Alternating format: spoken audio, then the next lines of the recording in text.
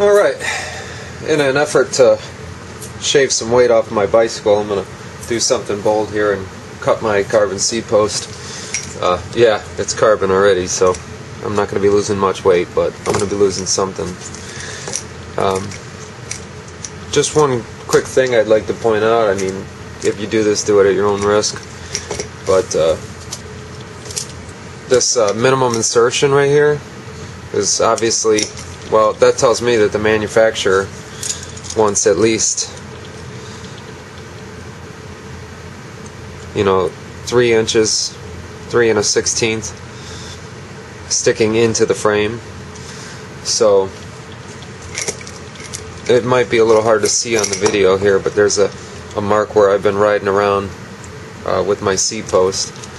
So I'm going to assume that from that mark I'm going to be three and a six, three inches and a sixteenth down into the seat post. So it looks like I can go ahead and cut it off just under this uh, minimum insertion text. So I'm going to do that now. This miter box here, just a little plastic miter box. And I have a miter saw here. If that doesn't work well, I'm going to maybe try a hacksaw. And, you know, of course, like all things, I'm going to go ahead and start out by um, just taking a little bit off. This way, if it really gets screwed up, I can uh, attempt to cut it a different way.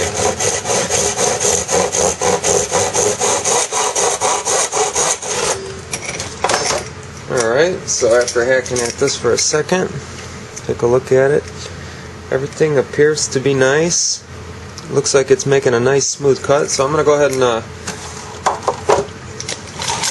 I'm to go ahead and cut it uh, right where I want it to be this time around.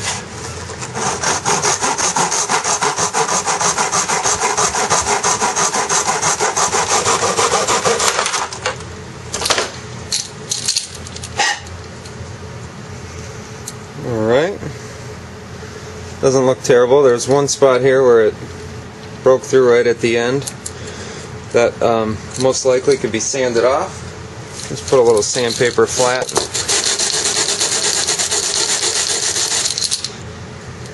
Oh, that's pretty.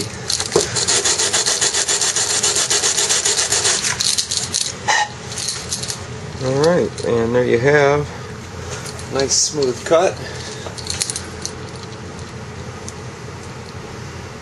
on the carbon fiber seat post.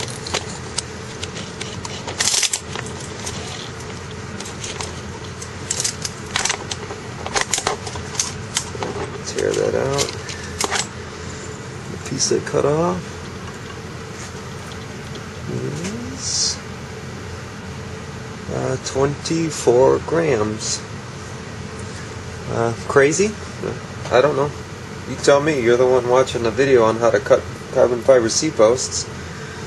So uh, 24 grams, I mean that's something. So there you have it.